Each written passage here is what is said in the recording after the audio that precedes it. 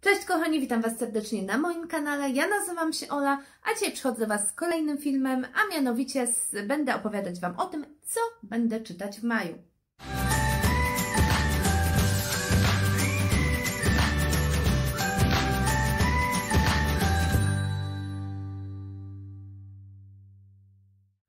Polubiłam się, muszę przyznać, że polubiłam się z tymi TBR-ami, szczególnie z tymi TBR-ami, które pomaga mi układać ktoś. E, w zeszłym miesiącu była to moja mama, a w tym miesiącu poprosiłam e, między innymi Was, czyli moich obserwatorów, e, bo mam nadzieję, że są to moi, również moi obserwatorzy z Instagrama, o to, aby na podstawie takiej zabawy, która mm, była jakiś czas temu, czyli pokaż mi książkę, która, wskazali mi typy książek, które według nich powinnam przeczytać w maju. I tak zostawiłam skrzyneczkę z prośbą o E, wpisanie e, przeczytaj książkę, odpowiedź na pytanie przeczytaj książkę, która i dzięki temu ten mój skromny TBR na ten miesiąc e, powstał. Także w dużej mierze to jest Wasza zasługa. Ja się świetnie bawiłam przy tym TBR-ze i co? Myślę, że możemy lecieć do pierwszej książki. Pierwszą książką nie mam jej jeszcze fizycznie u siebie, bo dojście do tego, że ja tą książkę przeczytam, to był jakiś, słuchajcie, Armagedon, a to za sprawą... E, Doroty, mam nadzieję, że dobrze pamiętam imię, z profilu Tropiciele Gier i Książek, bo Dorota właśnie y, dała mi taką odpowiedź, żebym przeczytała książkę, w której w ogóle nie ma ludzi. Słuchajcie, bazę, w ogóle nie ma ludzi.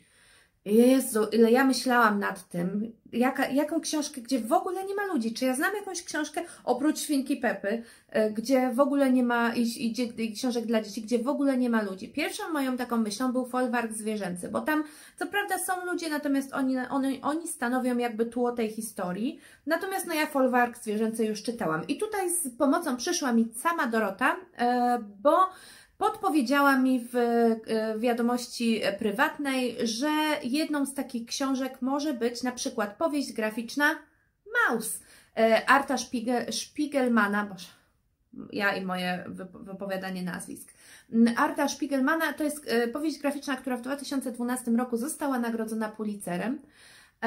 A to jest taka metaforyczna trochę powieść graficzna, w której mm, ludzie przedstawieni są za pomocą konkretnych zwierząt y, i, i to, w jaki sposób ludzie byli traktowani mm, w danym y, okresie. I tak na przykład myszy obrazują y, Żydów, koty to są e, Niemcy, więc możecie się domyślać, o jaki e, okres chodzi. Ja tą książkę chciałam już bardzo przeczytać jakiś czas temu, ale w ogóle gdzieś tam mi później jej nie było. Był problem z dostępnością tej książki i wiecie, więc w końcu zamówiłam ją dzięki też między innymi tej, tej zabawie i podpowiedzi właśnie mm, Waszej.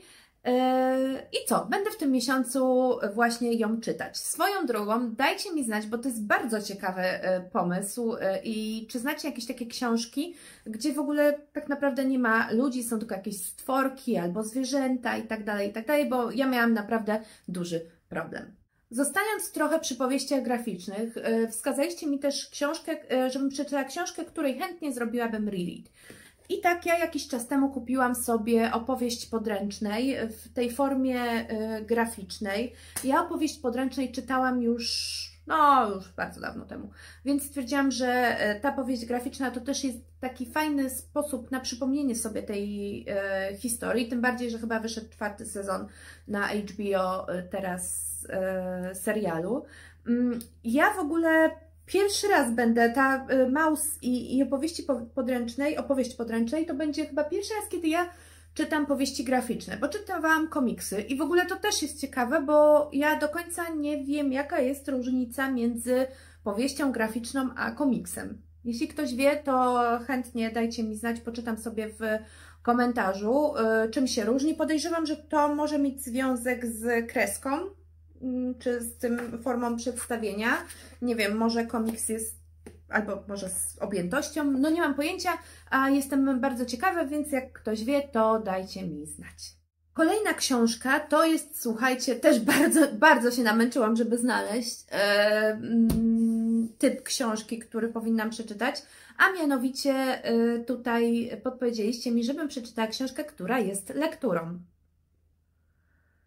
Nie, kochani, nie będę czytać Krzyżaków przedwiośnia, e, chociaż no, ja rozumiem, że to są bardzo ważne książki i to też mnie trochę przy tym zdziwiło, że ten kanon lektur w ogóle się praktycznie nie zmienił odkąd ja kończyłam szkołę, czyli od jakichś 10 lat. 10 lat temu kończyłam liceum. E, no i to jest dosyć e, ciekawe, wiecie, ja nie oczekiwałam, że, że jakieś rewolucje w ciągu tych 10 lat będą, ale no wiecie, że coś dodadzą jakoś tak, a nie ciągle jechać tymi samymi trenami, psalmami, przedwiośniami i tak dalej. Co oczywiście ja nie neguję tych książek, ale jakby na rozszerzeniu można by było dodać coś fajnego, bo jest wiele książek, które myślę można by było E, wrzucić. Ale e, najbardziej wydaje mi się, że fajne lektury są w klasie 4 e, a 6, bo liceum to nie, nie, nie, nie brzmiało fajnie. Mm, liceum, słuchajcie, jak przeglądałam sobie spis, spis lektur. Natomiast już nie pamiętam w której klasie, ale gdzieś znalazłam, że mm, lekturą są wybrane dzieła Agaty Christie. I powieść kryminalna Agaty Christie. To chyba było na rozszerzeniu w którejś z klas. I ja stwierdziłam, że to będzie taki E, najlepszy dla mnie wybór, bo też nie, wiecie, nie chcę się zmuszać do czytania. E, i wybrałam sobie książkę i nie było już nikogo. Ta książka też była już kilkukrotnie się do niej zabierałam, znaczy myślałam o tym, żeby ją przeczytać, więc e, myślę, że to będzie taki fajny moment na tą książkę, a też wiecie, wybrane dzieła, nie wiem czy w liceum, czy tam to chyba w liceum było, e, czyta się akurat i nie było już nikogo, czy na przykład 12 prac Herkulesa, natomiast ja wzięłam sobie tą książkę. Kolejną książką jest książka, którą napisała kobieta. I tutaj to mnie ucieszyło, wiecie, bo to jest bardzo szeroki katalog, jest dużo autorek yy, i mogłam sobie tutaj yy, poszaleć, natomiast ja wybrałam taką książkę, którą napisała kobieta i którą napisała kobieta, która wiem, że walczy, czy też wypowiada się w spraw, w jakby w, w, w, przy okazji praw e, kobiet. Mówię tutaj o Rebece Solnit e, i Matce Wszystkich Pytań. Ja wiem, że ta autorka jeszcze ma, mm, wydała tą książkę, e, między innymi Mężczyźni objaśniają mi świat, która była, miała takie dosyć kontrowersyjne opinie. Ja mam u siebie na półce Matkę Wszystkich Pytań i właśnie tą książkę będę w tym miesiącu czytać. Kolejna kategoria książek to ja sobie dwa pytania, które, znaczy dwie odpowiedzi, które były w skrzyneczce, złączyłam sobie w jedno, bo jedna z odpowiedzi to było e, książka, którą miałaś już co najmniej dwa razy na TBR-ze i książka, którą najdłużej miałaś u siebie na TBR-ze. Mm, I ja tutaj wzięłam sobie szóstkę w Ronli Bardugo.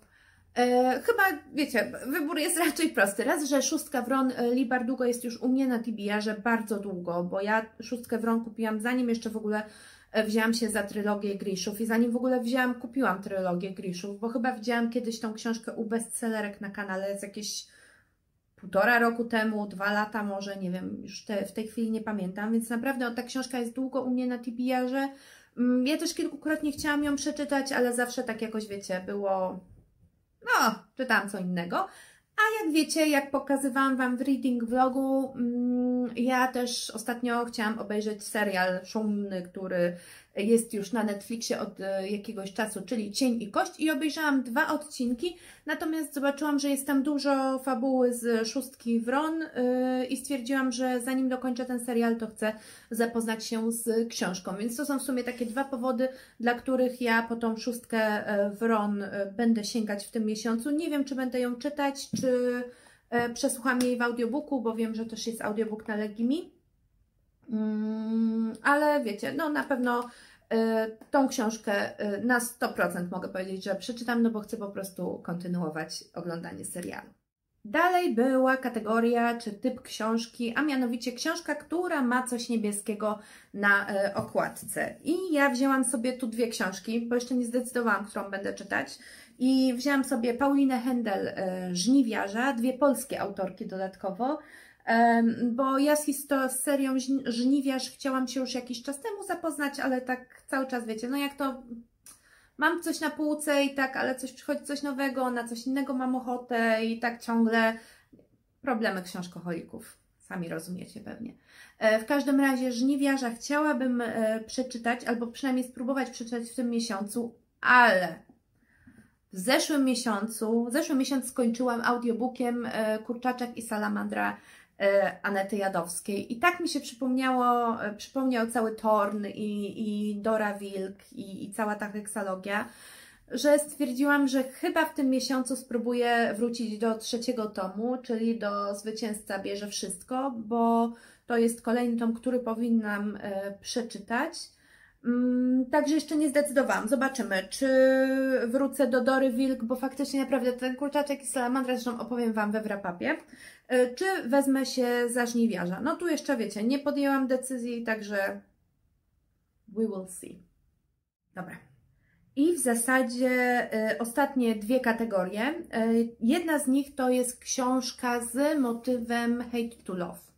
I tu też słuchajcie, nie sądziłam w ogóle, że ja będę miała taki e, problem z dopasowaniem książek, bo wiecie, samo dopasowanie książek nie jest ciężkie, ale dopasowanie tych książek w taki sposób, żebym ja jeszcze chciała, miała akurat ochotę je przeczytać, to wcale wbrew pozorom nie jest e, takie proste, bo właśnie e, też miałam spory problem z tym motywem hate to love, bo ja dawno takich książek nie czytałam i też nie bardzo Ostatnio miałam ochotę na, na takie książki. Jedyna książka, która mi przychodziła tak pierwszy, na pierwszy rzut do głowy, to był oczywiście Gołąb i Wąż, no ale nie będę czytać książki, którą już przeczytałam, której zresztą drugi tom e, aktualnie e, kończę, no ale jego niestety pod ten wątek już podciągnąć nie możemy, ale przypomniało mi się, że mam na swojej półce mm, książkę młodzieżową, young adultową z tego co się orientuję, a mianowicie książkę Save Me Mony Kasten i tutaj y, wiem, że ten motyw Hate to Love jest na pewno, przynajmniej w tym pierwszym y, tomie. Tutaj y, jakby cała fabuła dzieje się w elitarnym liceum. Jest oczywiście playboy i jest dziewczyna, która postanawia być cichą myszką i tylko przetrwać liceum, bo marzą jej się studia na Oksfordzie. Brzmi całkiem fajnie. Brzmi mega młodzieżowo, więc zobaczymy, jak się y, będę przy tym bawić, ale na pewno po tą y, książkę spróbuję sięgnąć w tym miesiącu. I ostatnią kategorią y, była książka, która sprawi, że będę zaśmiewała się do łez, czy do rozpuchu, jakoś tak to brzmiało. E, no i tak wiecie, trochę trudno wybrać książkę e, z takim przewidywaniem, że się będzie przy niej świetnie bawić, no bo tak wiecie, no ciężko wydaje mi się jakoś tak trafić. E, w każdym razie ja mam nadzieję, że mi się udało, bo będę czytać drugi tom mojej kwietniowej perełki, czyli Nevermore, drugi tom Powołanie Morrigan Crow, Wundermistrz. E, ja przy pierwszej części bawiłam się, słuchajcie, doskonale. Zresztą mm, mm, jakby dokumentowałam Wam to e, w reading vlogu. E, I może nie zaśmiewałam się przy tej książce do łez, ale na pewno to była taka przyjemna, fajna, zabawna rzecz, więc stwierdziłam, że pod tą kategorię podciągnę właśnie drugi tom mm, tej książki. I ostatnie, co mi przyszło wybrać już samodzielnie do TBR-u, to jest, słuchajcie, książka y, po angielsku. Y, I ja sobie wzięłam swój najnowszy zakup. Wzięłam? A, nie wzięłam. Wait. Naprawiam swój błąd, jestem, y, a mówię tutaj o książce No Big Deal Brittany, Bethany Rutter. E, to jest książka, którą ostatnio e, kupiłam, którą pokazywałam Wam ostatnio w book. Ja jestem bardzo ciekawa tej fabuły. E, w kwietniu niestety nie udało mi się żadnej książki po angielsku ani przesłuchać, ani przeczytać, więc mam nadzieję, że w maju nadrobię i albo przesłam jakiegoś audiobooka po angielsku, albo właśnie sięgnę po No Big Deal. I kochani, tak właśnie prezentuje się mój TBR na maj. Mam nadzieję, nie, nie sądzę, żebym przeczytała wszystkie te książki, ale mam nadzieję, że przynajmniej większość z nich y, uda mi się przeczytać, tym bardziej, że są tu dwie powieści graficzne, więc to powinno się y, udać. Y, dajcie mi koniecznie znać, co Wy będziecie czytali, czy robicie plany czytelnicze. Jeśli Wam się podobało, to oczywiście zostawcie łapkę w górę, subskrybujcie mój kanał i mam nadzieję do zobaczenia w kolejnym filmie.